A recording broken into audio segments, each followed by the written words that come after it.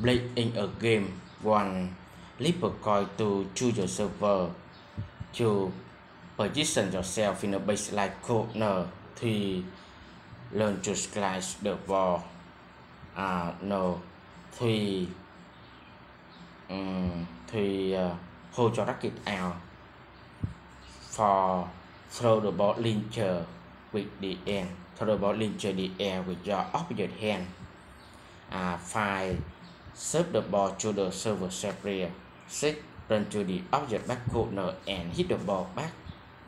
Seven and seven, continue until the point this one. Uh, flip a coin to choose your server in 10. This one project starts the first server of the game.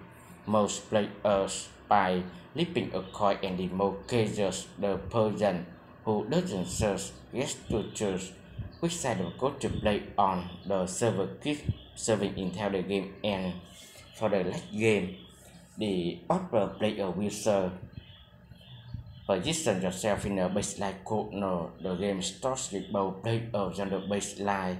The server chooses the corner of the baseline to serve form, and the other player position themselves on the object back corner. So if you serve from the right corner of your side of the code, your opponent will stand in the far left corner from your point of view. You should be standing facing the opposite corner keep one foot slightly above the baseline and the other about 45 centimeters 18 in away inside the court, hold your racket out there. Position the required way to hold the racket. As long as your hand is around the handle grip the racket firmly with the face of your racket pointed slightly upward it takes some practice to learn how to return the servers successfully. So don't worry if you do badly the first few times. When you are serving, you can hold the racket with both hands. Usually the dominant hand will grip the top of the handle with the other hand at the bottom, but there's no required position as long as you keep your hand or hand on the handle only. Throw the ball into the air with your opposite hand if your serving, touch the tennis ball into the air with your opposite hand. It's okay to touch the ball around a few times without using your racket or about it on the court before beginning.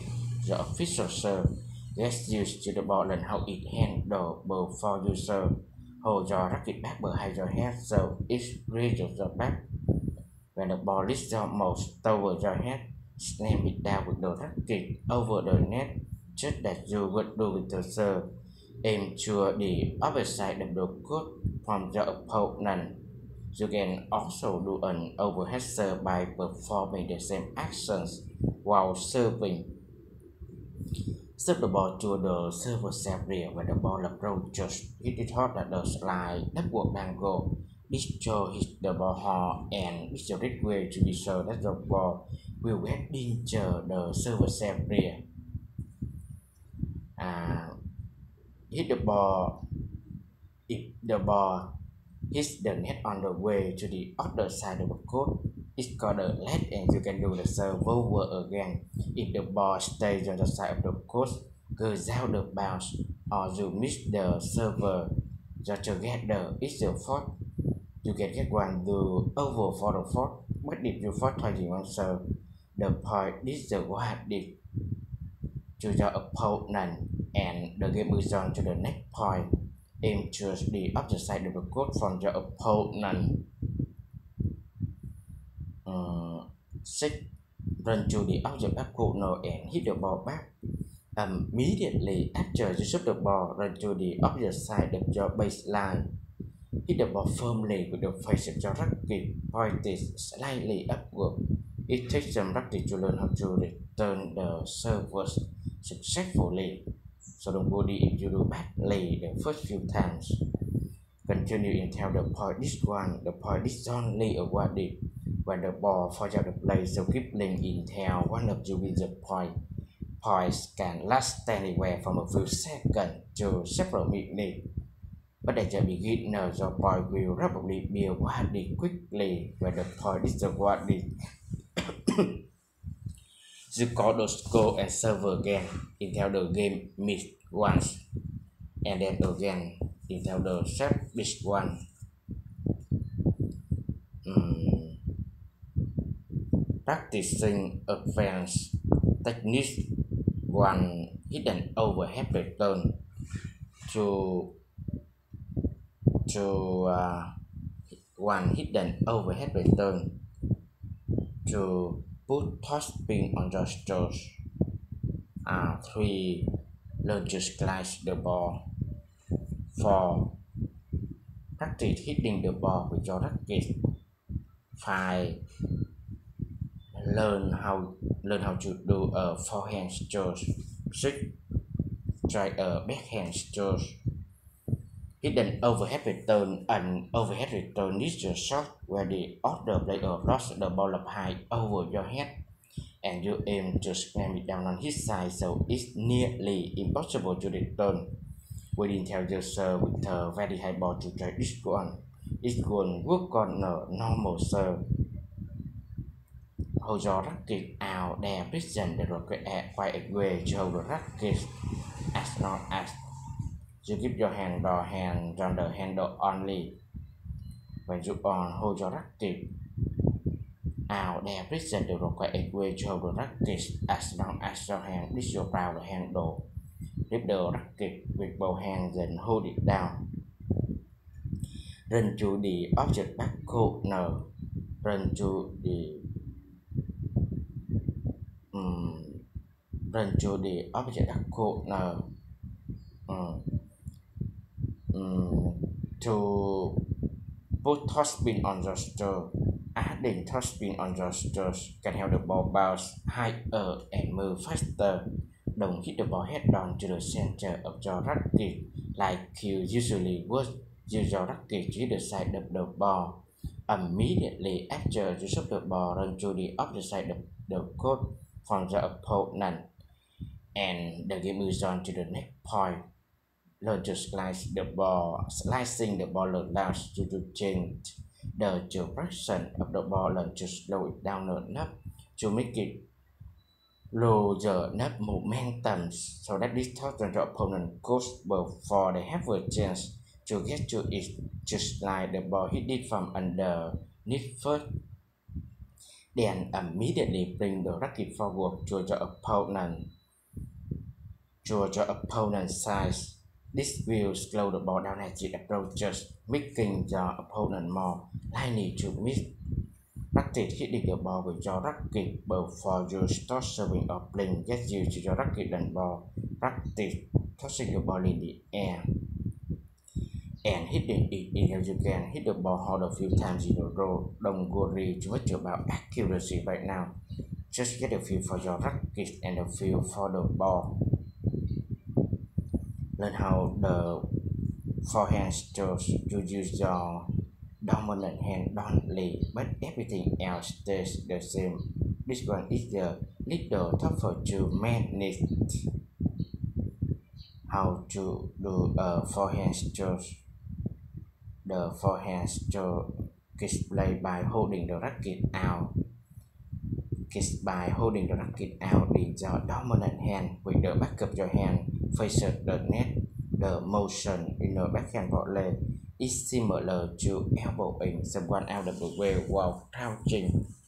Try the backhand stroke. The backhand is one of the easiest strokes to master. Grip the racket with both hands and hold it down to the side. It should look similar Baseball baseball and racquetball. When the ball approaches, hit it hard at the slide upward angle. This show hits the ball hard and this your right way to be sure that your ball will get into the service area. There's also a variety called There's also one-handed backhand strokes. You use your dominant hand only, but everything else stays the same. This one is the little tougher to manage hidden overhead return and overhead return is your shot where the other player blocks the ball up high over your head, and you aim to slam it down on his side, so it's nearly impossible to return. We didn't tell you sir, with her very high ball to try this one. It's one work on a normal, sir. Hồ gió rất back, behind your hai. So it's raised your back eh? when the is your mouse toward the net. Just that you would do with the sir aim to the opposite side of the court from the opponent. And the game moves on to the next game. You can also do an overhead by performing the same actions. Put topspin on your toes. Adding topspin on your toe can help the ball bounce higher and move faster. Don't hit the ball head down to the center of your racket like you usually would. Use your racket to the side of the ball. Immediately after you the side of the ball. Try a backhand. Learn how to do a forehand stroke. The forehand stroke is played by holding the racket out in your dominant hand. With the backup your hand facing the baseline, similarly no choose the ball and hit it. The backhand volley is performed similarly except the backup your hand faces the net. The motion in the backhand volley is similar to elbowing someone out of the way while crouching. Try the backhand strokes. The backhand is one of the easiest strokes to master. rip the racket with both hands and hold it down. It should look similar to baseball layer right back when the ball approaches. It is hot that the slide, double dangle. This show the ball hard and this the way to be so that your ball will get danger the server safely. There's also one-handed backhand strokes. You use your dominant hand don't lay, but everything else stays the same. This one is a little tougher to manage. Tips. Be patient with yourself. Fashion the sports people spend a lifetime perfecting their and use their then strategy. Mm, be patient with yourself as you learn the sports people spend their lifetime perfecting their then mm, strategy. Just continue improving your game over time. Hire a personal coach, trainer, who will work with your skill set and help you develop your source. Make sure you're standing there to return the serve. We didn't tell your serve with a very high ball to try this one. Each one, work on a normal serve. Make sure your opponent knows that you're the beginner will even agree to relax game standard, temporarily to help you develop your serving and hitting techniques. When you feel confident in your basic skill, find the play technically in your community. You meet people who love the sport as much as you do and you see how you stack up against the competitions. Play in sneakers, the cast ballet blast heels of flip not are not suitable for playing tennis. Once you've perfected your basic tennis tools, you can learn to block hidden overhead and hit volleys. If your elbow forearm already so after playing tennis, put an iPad control so spot to ease the pain. Avoid playing for the day also to give the tendons time to recover. Have you always wanted to learn to play tennis but you've been unsure of where to start? Do you love watching WL đó? Or Serena Williams dominate the course and hope to be just like them? Playing tennis can help you build speed, power, and fitness. It's also a great way to spend time with your family or your friends. Learn the layout of the code, the scoring system, and all the playing techniques. You need to become a tennis pro. Uh, find, find a place to play. You can play tennis at your local park or gym or a tennis club. Search online the rest fans where the best local coach are. Most sports play for free, but you probably need to pay membership fees to play anywhere else. There's also a variety called Canadian. Else you can practice basic serving techniques in any closed open space, but it's best to spend as much time as possible on actual code. You learn the layout of the code faster and minimize the risk of breaking anything with your racket or a ball. Buy tennis supplies, you don't need to buy professional great tennis supplies right away, but every beginner will need just a few things to get started. Some ginger tennis clubs provide basic supplies for their member, but if that isn't the case, you need to go shopping. You need the racket with this case for the beginners, or you need to do is check to make sure your hand fits comfortably around the handle. The racket shouldn't feel like it's too heavy to move, but it also shouldn't feel like it weighs nothing. There are also men's and women racket, but you should try all the time fit over gender in most cases. By at least three tennis balls, they get lost very easily. Buy tennis clothes before you buy tennis clothes.